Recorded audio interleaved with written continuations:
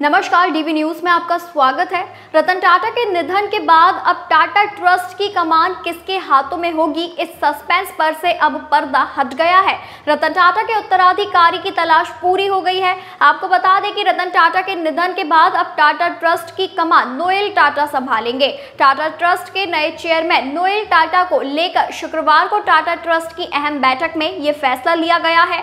Tata group की market में listed उनतीस कंपनियों का बाज़ार पूंजीकरण पंजीकरण करीब 403 अरब डॉलर, यानी उनचालीस लाख करोड़ रुपए है। उत्तराधिकारी पर चर्चा करने के लिए टाटा ट्रस्ट की आज मुंबई में बैठक हुई।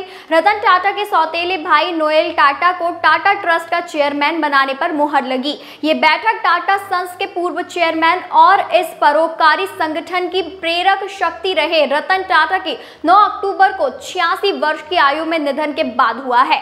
रतन टाटा को 10 अक्टूबर को मुंबई में पूरे राजकीय सम्मान के साथ अंतिम विदाई दी गई। उन्होंने अपनी मृत्यु से पहले अपने उत्तराधिकारी की नियुक्ति नहीं की थी। आपको बता दें कि नोएल टाटा, रतन टाटा के सौतेले भाई हैं, जो पिछले 40 सालों से टाटा ग्रुप के साथ जुड़े हुए हैं। फ़िलहाल वे अलग अलग टाटा ग्रुप की कंपनियों के बोर्ड में शामिल है। साथ ही वे टाटा समूह की retail company Trent Tata international limited, Tata investment corporation के चेयरमैन भी हैं। साथ ही टाटा स्टील और टाइटन के वाइस चेयरमैन हैं। उनके कार्यकाल में ट्रेंट की सफलता की शानदार सीढ़ी चढ़ी है।